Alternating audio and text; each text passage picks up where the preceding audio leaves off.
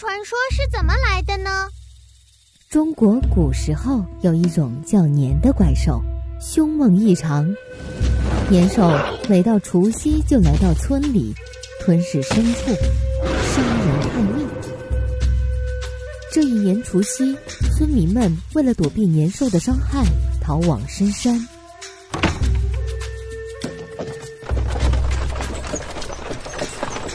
这时候，从村外来了一位银发白须的老人。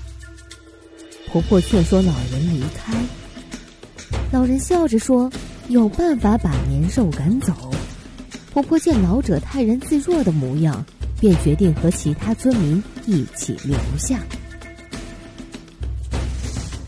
午夜时分，年兽闯进村。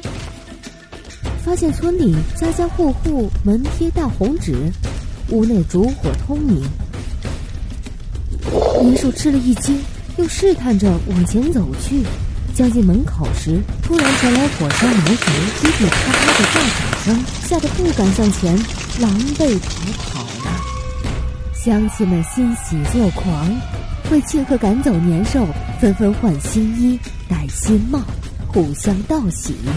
这事很快在其他村里传开，人们都知道了用鞭炮驱赶年兽的办法。从此，年的传说流传开来。啊，过年啦！包饺子、放鞭炮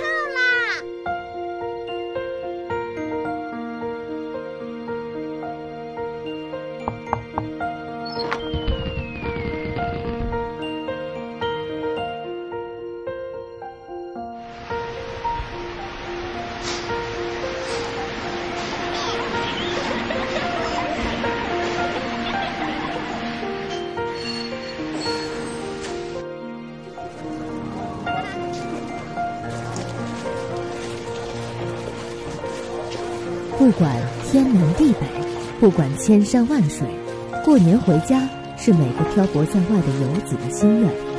团圆美满是每个人心底最深切的期盼。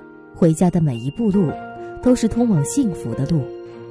不管时代怎样变换，家是人们心中最柔软的地方。回家是永恒不变的信仰。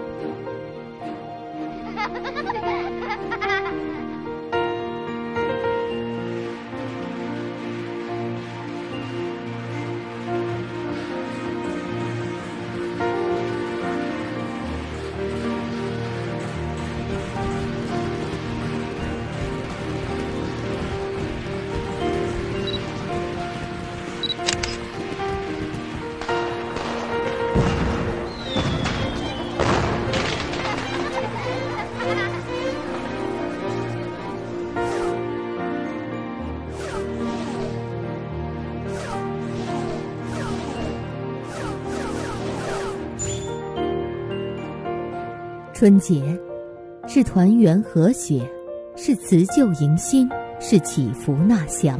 让我们分享快乐，传递祝福，与世界携手同行，静待花开，拥抱春天。